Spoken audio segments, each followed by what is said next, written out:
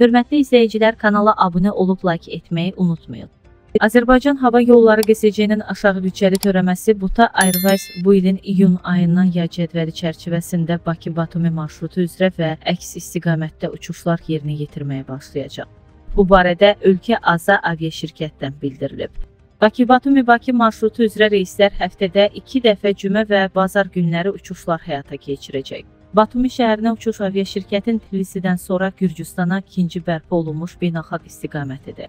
Həmin uçuşlara biletləri Buta Airways az rəsmi saytından, həmçinin aviaşirkətin akkreditə olunmuş agentliklərindən əldə etmək olar.